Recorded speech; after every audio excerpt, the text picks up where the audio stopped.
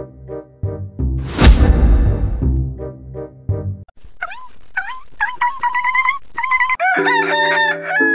guys, welcome back to Foodings. So by the time you click into this video and read the title, yes, this today's video is a bit special. I'm going to show you guys my 48 hours fast means like two days fasting. So without further ado, let's go to the first. You probably think I will be I'm like, hungry. I'm hungry. But let's find out.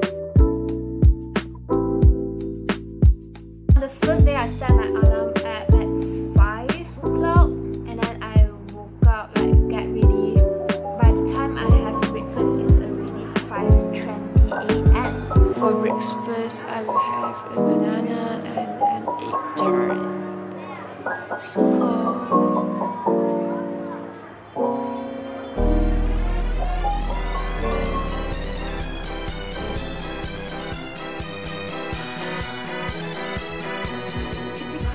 start your day with sahur. Sahur means that you consume your breakfast but at earlier time.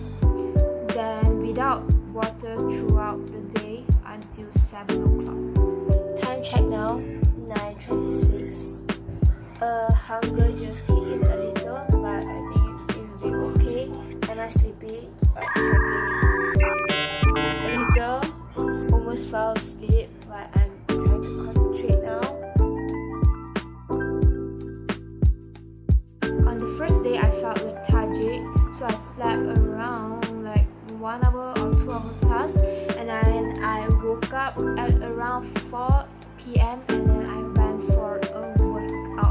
my body without food for 12 13 hours.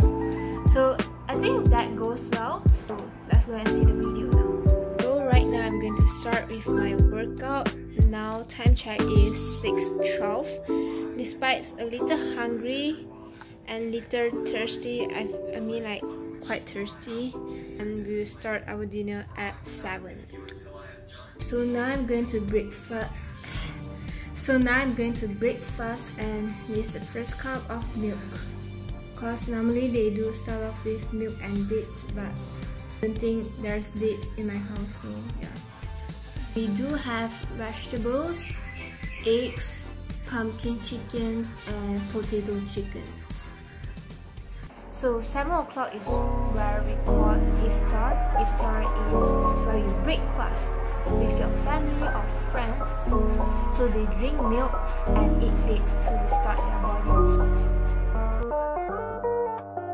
Morning, so now time check is 5.30. So I'm having granola and mixed with some cornflakes. So tell me if you put the cereal first or the milk first. Do the cereal first. some milk.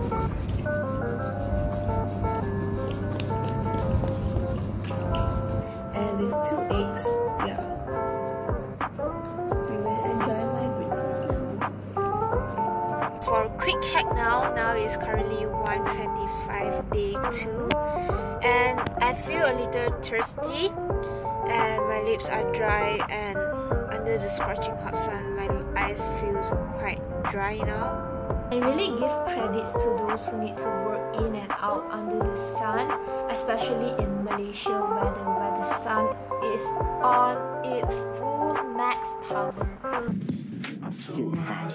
I'm so hot. Check me out. Check me out. I'm hot. I came home, I settled down a bit, then I went to cycle with my dad. Yes. At the point of time, I asked myself, do I feel thirsty? Yes, I do feel thirsty.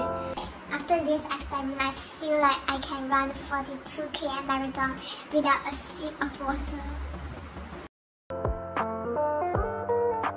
After we cycled back, I came home and did some light workout.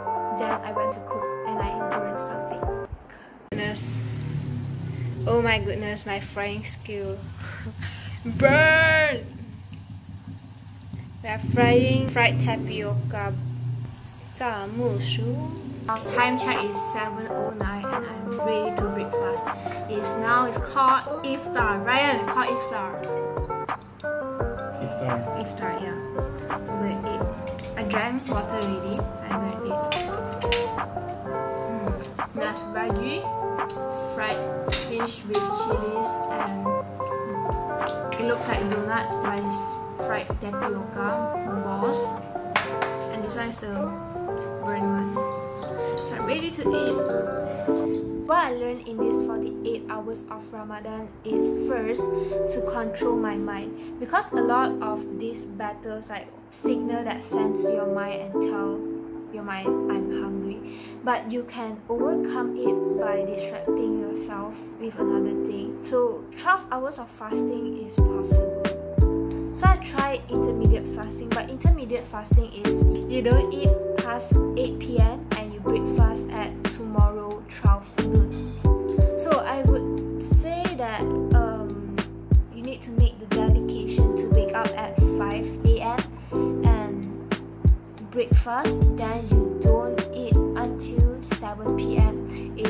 kind of a dedication and commitment that you need to give. So intermediate fasting or this Ramadan fasting is harder. I would say Ramadan fasting is harder. So a lot of things like betting on the mind. So you need to control your mind say that you can do it. You can do you can fast in 12 hours and slowly push the time like 16 hours to do intermediate fasting. So second point I would learn is that I am more grateful water in Malaysia and we have food provided on the table for us. So this is something that I've learned to be more grateful for. I'd like to say that Selamat Hari Raya Salam Idul Fitri to you all and see you guys in the next episode of Foodie. Bye bye maaf Zahir Batin